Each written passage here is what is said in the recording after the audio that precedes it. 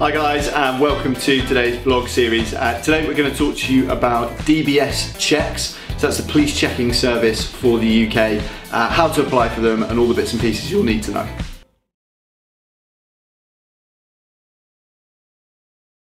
Okay, so what is a DBS check? Well, first of all, um, it's important to know that when you arrive in the UK, you'll of course have your international police checks from your home country, but uh, NHS trusts will want to make sure that they keep a record of any criminal activity uh, based in the UK. So uh, the DBS system, this disclosure and barring service, uh, is the update service available to UK citizens, people that live in the UK, uh, so that their employers can keep abreast of any changes to criminal records and criminal record checking uh, whilst they've been in the UK.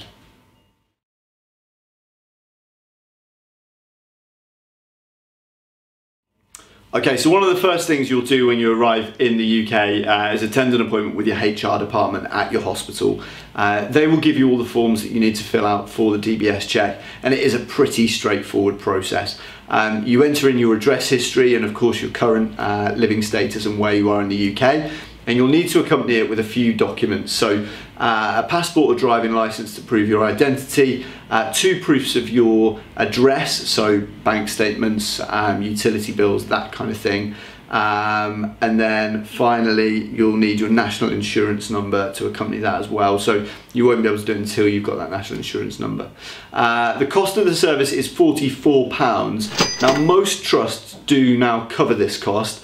Some, however, will make you cover it and they'll take it from your uh, first employer's paycheck. So do be aware of that. It's not a huge cost, but it is something uh, that you sometimes have to cover yourself. Uh, and final point to note is it takes about two weeks for it to be returned.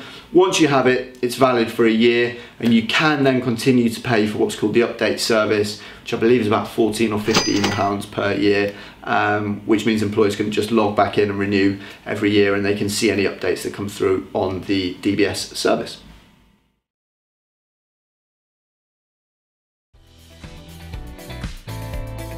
Okay, so hopefully uh, that's been of some use to you in learning a bit more about the DBS checking uh, service.